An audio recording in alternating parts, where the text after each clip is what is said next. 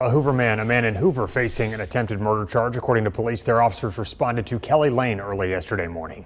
They found a man in the backyard with multiple gunshot wounds. He was taken to the hospital in stable but critical condition. Police arrested the man who lived in the home, David Rogers. Officers say the two were acquaintances. Rogers has been charged with attempted murder.